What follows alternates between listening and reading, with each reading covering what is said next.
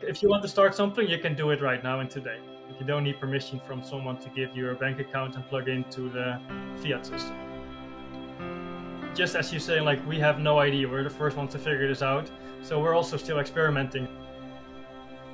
We first started with the idea we want to make premium content, like more in depth, and then it should not be like hidden and covered by all like the quick daily news. We have both people paying the membership with Lightning and the paywall with Lightning. So there are two different income streams which all come together in like one wallet. So you see every day as a company we're doing DCA basically. We provide some value, we write cool stuff. People pay for it and every day you see like a little bit of sats just getting into your wallet. People like it that they don't have to leave their email and personal information to read some articles just like you're going to a kiosk, you give like a penny, you get a newspaper, and you walk walk away.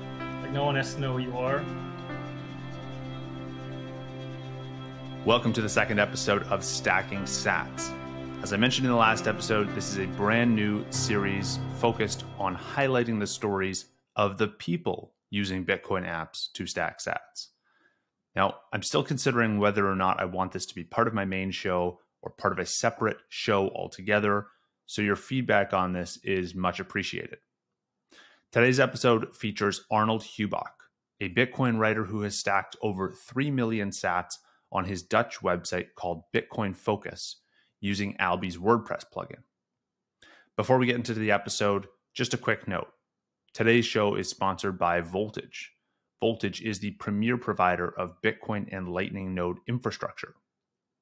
Today's show is also sponsored by Stakwork. Stakwork is a lightning powered transcription tool that takes the best of AI and humans to create better, faster, less expensive transcripts. You can learn more about Voltage and Stakwork by clicking links in the show notes. Arnold, welcome to the show, and uh, thank you for taking the time to chat about how you are stacking sats. Before we get into the episode, can you give listeners a brief backstory of yourself, share a bit about your life prior to Bitcoin? Yeah, first of all, thanks for having me. Um, and my life prior to Bitcoin is before the 2016 2017 hype. I studied product design, wanted to be an inventor, an engineer.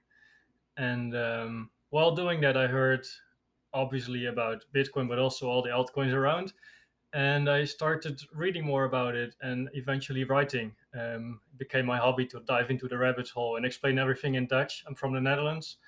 And um, as I was graduating as a product designer, I uh, moved to Cambodia for half a year to continue my study there, which meant that I had to give up my side job, my fiat side job, and I could continue doing remote work, which is reading and writing about Bitcoin and and writing articles, and back then more like blockchain. And as I graduated, I decided to go all in or basically full time into Bitcoin stuff. So I didn't become an engineer and a product designer for a single second. I continued writing uh, for BitcoinMagazine.nl, which is not affiliated to BTC Media. And from there, the whole journey started as a full time writer. And then, so talk to me about talk to me about Bitcoin Focus. This is this is your uh, website right now where you're doing a lot of writing uh, again in Dutch uh, for primarily for the Netherlands uh, audience looking to understand Bitcoin. Um, why did you decide to set this up as a website? Why did you decide then you were also going to charge in Sats uh, versus some of the other business models you could have pursued? Yeah, so as I graduated, I continued writing for BitcoinMagazine.nl together with two colleagues, uh, Robin and Wessel. And it's the, I think, the biggest news medium for Dutch Bitcoin content, which is like purely based on advertisement, press releases, uh, and those kind of uh, revenue models. And as I start continued writing for them, um, I went, for example, to El Salvador to make a documentary about Bitcoin Day, and that's the moment where it was like, if we have this this website with a lot of news where you have like let's say technical analysis as well and the different kind of content which is like a big production with a documentary we want to have like a different platform for this more in-depth content. So not just the quick news, like what's happening today and, and yesterday, but more like a bigger overview, in-depth articles. So then we decided to uh, found Bitcoin Focus with the three of us and not do this model based on advertisement, but like pure on value for value, uh, whatever you call it, pay, the Lightning paywall uh, memberships. So like the people pay for what they read instead of like the the companies. And currently there are like those two different models where uh, Bitcoin Magazine, I'm freelancing there, and I'm the co-founder of Bitcoin Focus, which is like stacking sats on a daily basis, just little bits. And so, so how did you decide though the the idea of setting up either a paywall or value for value? These are slightly different approaches to the same kind of idea of like stacking sats. What was your thought process on which one you should pursue? Yeah, that's a good question. So we first started with the idea we want to make premium content, like more in depth, and then it should not be like hidden and covered by all like the quick daily news. And with that as a starting point, we were thinking about making a, a newsletter on a different platform, a new website, and then we started looking like how can we implement cool Lightning stuff on it. And then um, I found, yeah, I found uh, an Alby plugin for WordPress websites. So we started playing with it, integrating to see how it worked, and yeah, it kind of worked. And and the whole thing about Bitcoin Focus is that we have it's premium content, so it's for memberships. People pay like a monthly subscription fee, and they can read like all three articles a week, uh, sent to their email, and one of them is like free for everyone. It's like open on the Friday edition. So we have been thinking about value for value as well, um, but I don't know. We chose for for the paywall because like it's so new that I think we're the first European official media publication that's doing paywall stuff. So it's really cool to experiment. But why we chose paywall, I don't remember actually. I, I know we've been debating like what shall we do. Uh, I think because we already have a platform where everything is open based on ads. So then you want to have something more closed based on something else. And value for value is also more open. Right. That makes sense. Now, I believe I have this correct, but correct me if I'm wrong. It, it's right now, I believe it's a one euro for viewing the full article on on the website and i believe 15 for a monthly membership. Is that is that correct? Yeah exactly. How did you come up with that pricing strategy? Because this is something that i'm trying to figure out. I think a lot of lightning creators are trying to figure out how do you price your products? If you're going to set up a paywall what is that? Is it should be you know should it be priced in sats denominated in sats? Should it be denominated in fiat currency what amount is the right amount? Like how did you kind of go through that process and come out on the other side with a 1 euro and 15 euro uh, monthly subscription plan? Yeah so good question. Um, so first of all within the alby plugin that we use and we have tweaked a bit we have both the option indeed to charge in fiat like euros or usd whatever and in bitcoin. So like it's both possible. It's not like it's a technical uh, reason why we chose to charge a euro. Um, I think we started looking back at like what does already exist in the market and what's like reasonable for memberships, and the 15 euro a month was, um, I think, reasonable compared to what's out there and and what people are willing to pay. And then we actually started to charge one dollar, one euro ninety five for an article, and it went quite well for many months, but just as you say, like we have no idea. We're the first ones to figure this out, so we're also still experimenting. So I think two months ago we changed the price to one euro for an article or 99 cents or something to just see how it's going. Because like if we can see a behavior in like the amount of paid uh, Lightning articles, like we can do something with it. So we're still in the process of like figuring out what works and trial and error. And so currently it's one euro. Um, we don't do it long enough now to really see if it's making a difference. Um, like you maybe selling twice the amount of articles for the same price. It's something that we're like have to analyze, but it's not like it's all still experimenting. It's not set in stone. Like we're early. right. That makes sense. So when you think about the future experiments you plan to run, what what's on your mind? Like what are you thinking about when trying to take this to the next level, trying to like elevate the Bitcoin focus to like a whole new level. Um, you know, to the point where you know maybe this becomes a full time thing for you. Like, how, how do you get from where you are today to the level you want to achieve?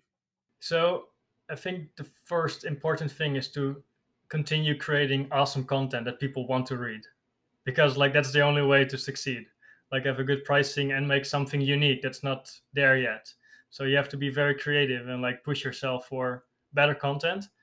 Um, so for example i was um, in boracay last year december uh, bitcoin island.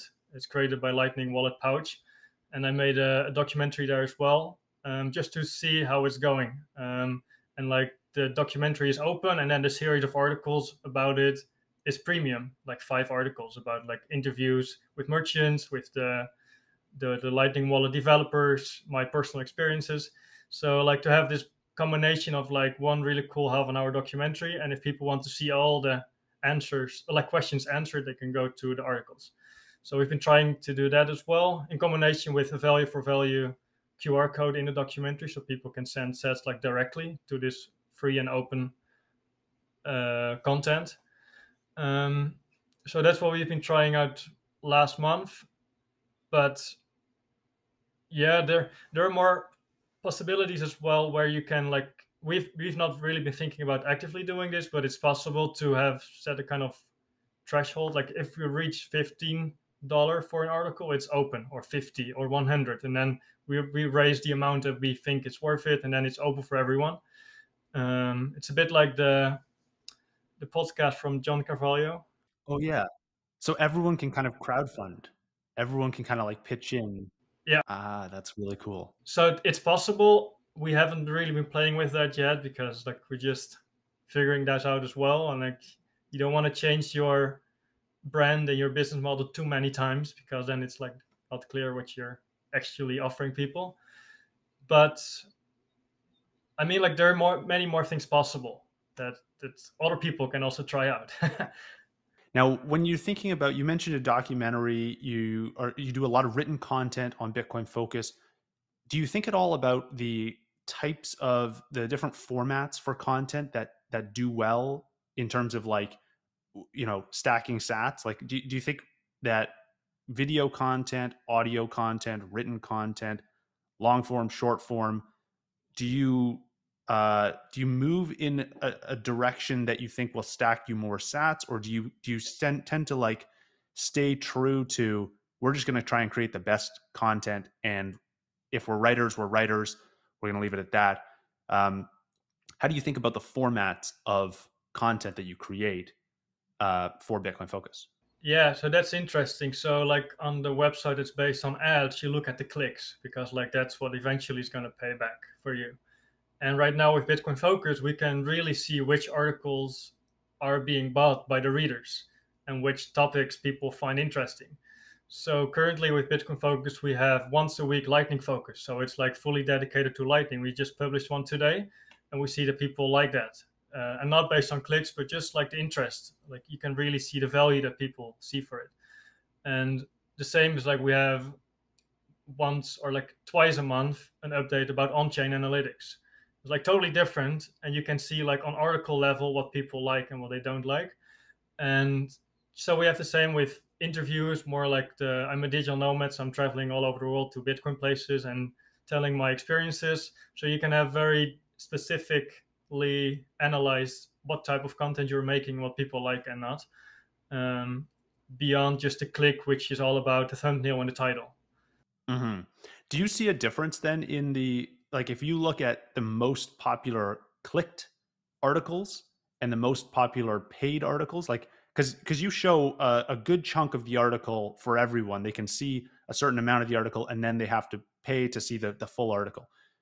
Is there a big difference in the number of uh, the, the most popular clicked articles and the most popular paid articles or is that pretty consistent that if if an article is getting a lot of clicks it tends to get paid a lot um, yeah, that's very hard to say because we have on every Friday we send out a free and open. We call it a preview edition to 5,000 emails. Um, it's just an open mailing list, and that one is like obviously open more because people go to the website just because they can they know the Friday edition is for free, um, and we send it like out as a free article as well. So people maybe tend to click on it more. Um, so I don't know if that's like if there's really something to say about these things, like the click ratio compared to the paywall ratio or something. Like I don't know. That's fair. Okay, I want to get into the tools and apps that you're using today. So, if someone listening to this is considering becoming a creator, whether it's Bitcoin content or any other content, what are the tools that you're using today? What does your tech stack look like in building Bitcoin focus so you can stack sats? Yeah, right. I, I guess then we have to start at the very beginning uh, because we founded Bitcoin Focus as a new entity, a new company, new venture. We needed a bank account, which first of all took us three, four months to really get one because it's like Bitcoin Focus. Uh, Citadel Media is the is the name of the of the the company. So we were, I think, declined twice or three times before we really got access to a bank account, so we can start like stacking fiat or whatever. In the same time, we set up the WordPress, put on the plug, the play, the paywall plugin, and in the same day we could receive sats already from readers. So we could not integrate our fiat monthly subscriptions with credit card or uh, iDEAL it's a Dutch payment method. But at the same like that took very long before we could start earning fiat, but we could start earning sats like on the same day as we wanted to launch our website.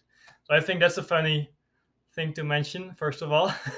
so, like, if you want to start something, you can do it right now and today. Like, you don't need permission from someone to give you a bank account and plug into the fiat system.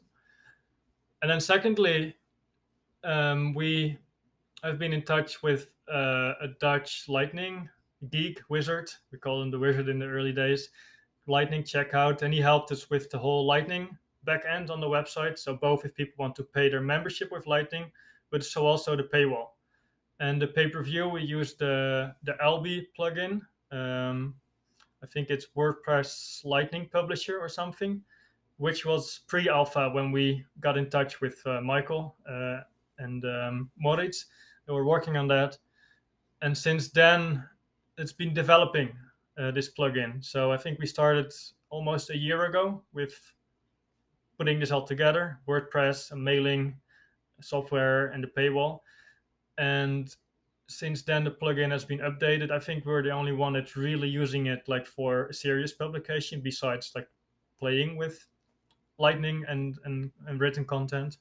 So um i think it's pretty easy. Like you go to the to the plugin part in wordpress and you can install it put in your lightning address and you there you're good to go yeah now you mentioned enabling lightning for subscriptions how, how does that all work? Not perfect because like there is no recurring payments possible in Lightning yet.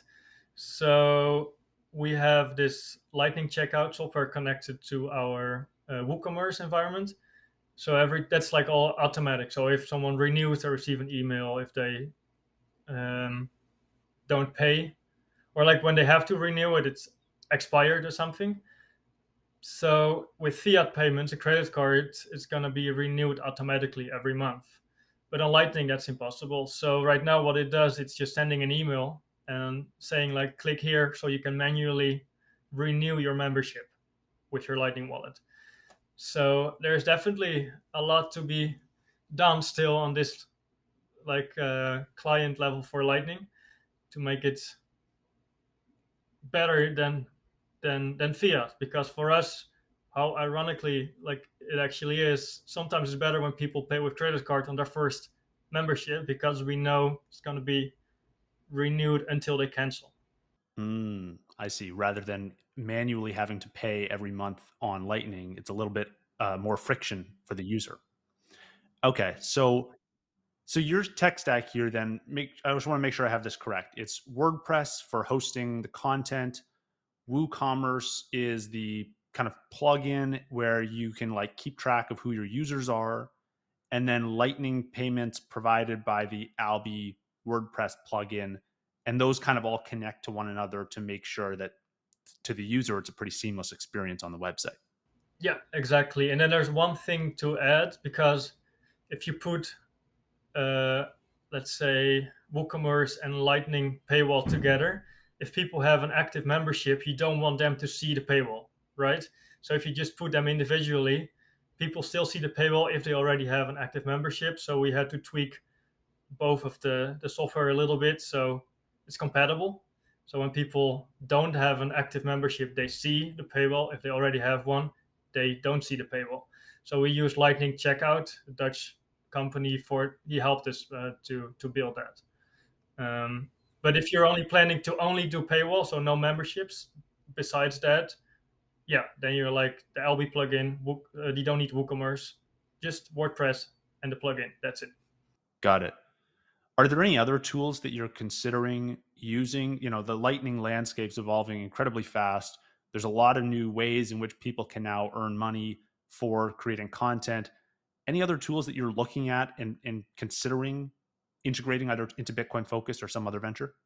Um, well, so first of all, we have this open free additional Friday in which we include the donation link, so which becomes value for value. Um, and that's just a simple, I think LNbits, LN URL pay, if I'm not mistaken, QR code. So people click on it, they can send. So that's pretty easy. It's, I wouldn't even call it like really a tool because it's already so accessible.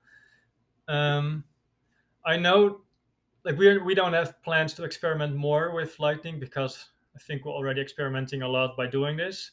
But I know like there's this idea from Carrot, the BitcoinMagazine.com app, where readers earn sats by reading. Um, that's something that can be explored. Like we're not actively doing this. We first prefer to have this lightning paywall even like the user experience better because the button is gray and boring. Like we need to improve that. But besides that, indeed, like paying readers hypothetically could be something. Yeah. Yeah.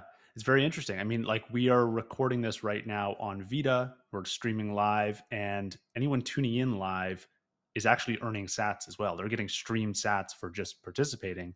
Um, so, and, and we've seen this already. Fountain does something similar for they have a listen to earn product. So we're definitely seeing uh, applications of users earning sats for participating, and I think this it does make sense because you look around at the the social media landscape and the users are the ones that are creating value for all these giant tech platforms, right? And so now all the lightning companies are saying, why don't we pay the users, show them, you know, that they're actually worth something because no one on Facebook has ever earned a penny for their time. You know, they've spent a decade uploading all their personal life history and photos and data and have never earned a penny.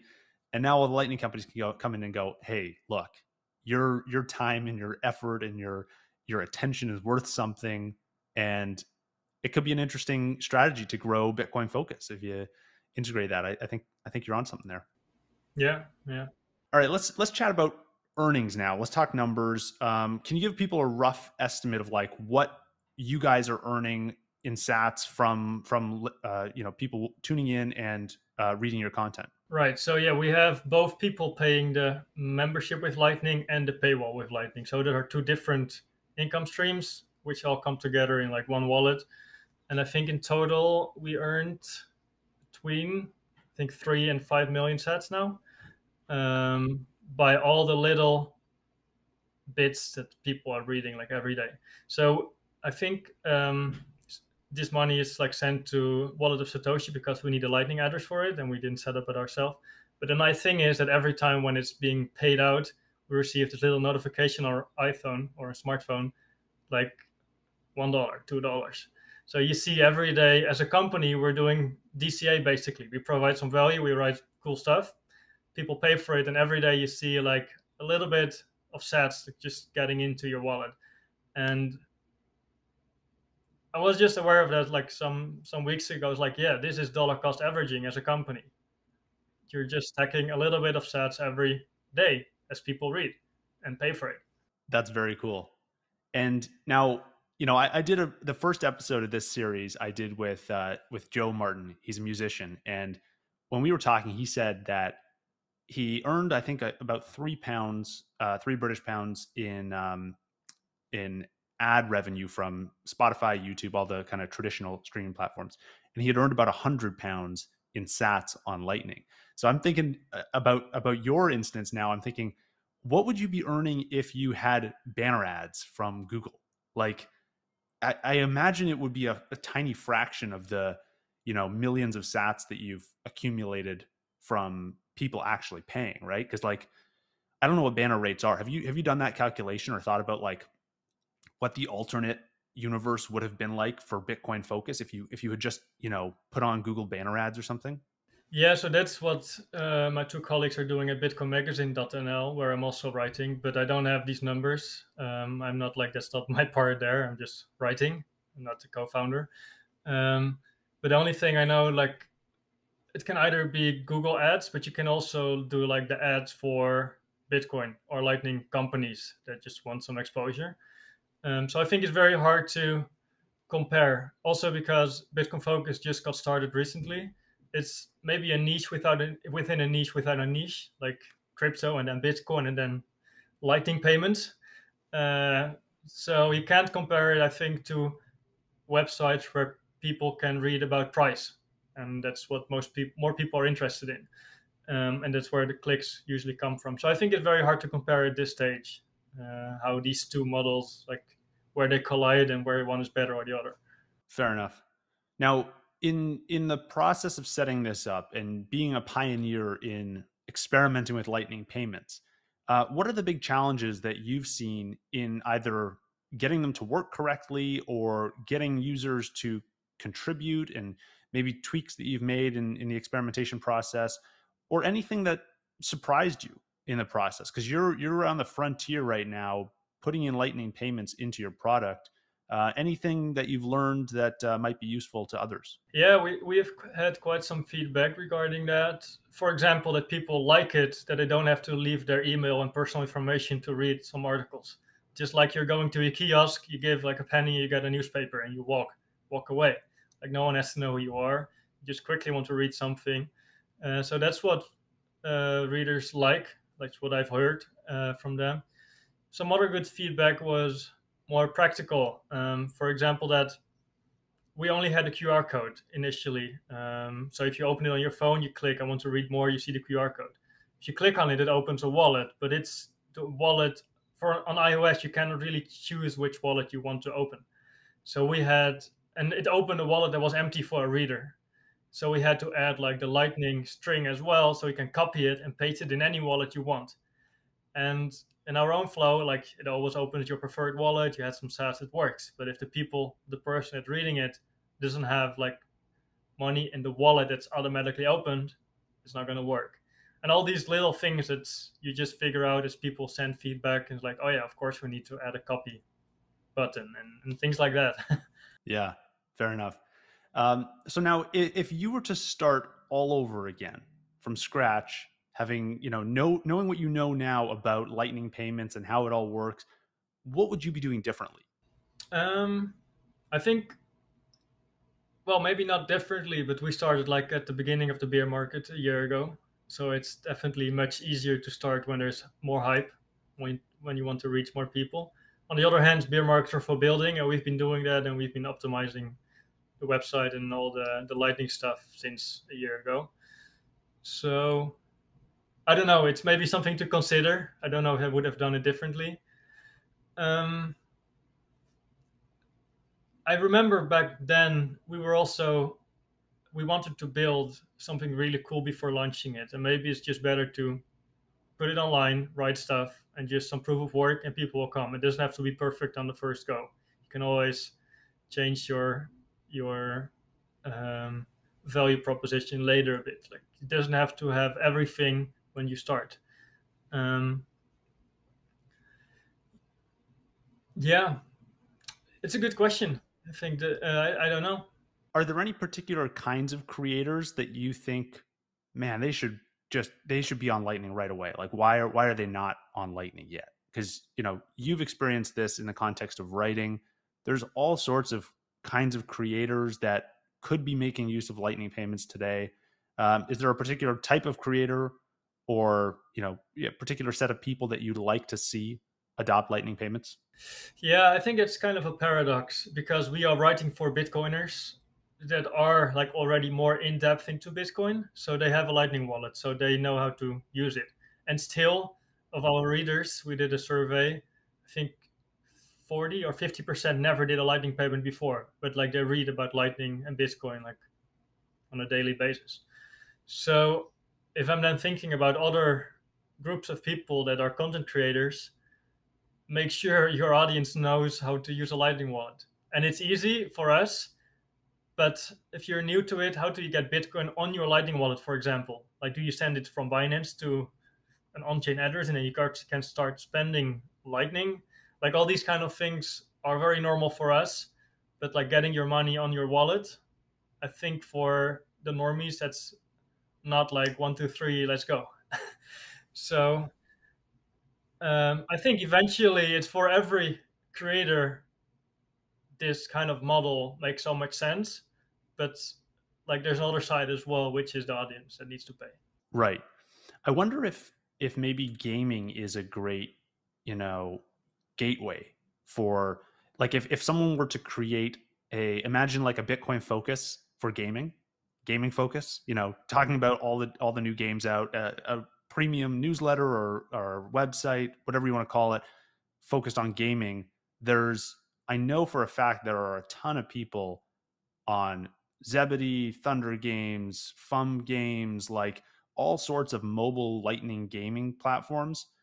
They're doing a ton of you know there's a ton of users. They're doing they're all you know relatively small transactions of course like hyper casual mobile games it's not like you're earning a hundred bucks every time you play. It's you know small amounts, but I think everyone's pretty familiar now with Lightning payments. I think they're they're all familiar with moving their funds through Thunder Games or Zebedee or whatever platform they're using.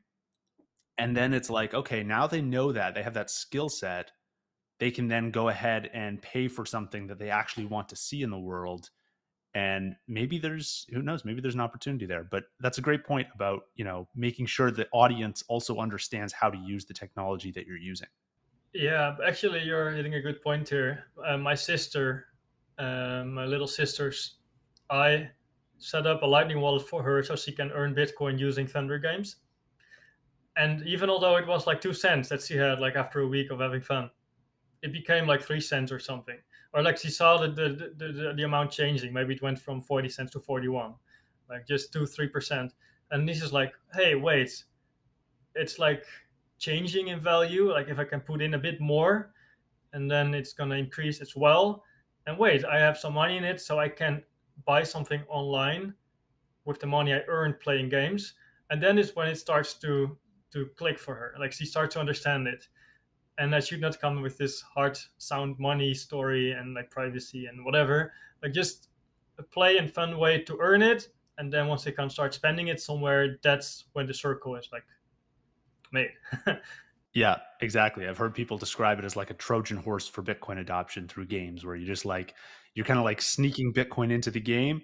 Next thing you know, the person realizes they have a balance, and then they study, okay, what is this Bitcoin thing, and they're off to the races and then eventually they can come to Bitcoin Focus or Gaming Focus and start to spend it. Yeah, exactly. Yeah, it's uh, it's uh, the chicken egg problem. Like, do you start with earning it or start with spending it? Absolutely. Awesome. Well, thank you for taking the time today. This is this is awesome. It, I, I love hearing your story and you know getting people interested in stacking Sats. I think is a key to Bitcoin adoption. And so I'm happy we could have you on here today to discuss everything you're doing at Bitcoin Focus. Uh, before you go, though, where can listeners find you? Yeah, so if you're Dutch, uh, obviously you should go to bitcoinfocus.nl. Um, I think we have a special promo code as well, which is Welcome by Focus. It's Dutch, Welcome by Focus, so you can try out uh, the the membership uh, premium if you want. Me personally, I'm on Twitter uh, at Starnold, St Arnold, but I prefer to be more on Nostr these days. Um, but I cannot tell you my end npub, and I think we have to work more on the, some nips to make this searchable.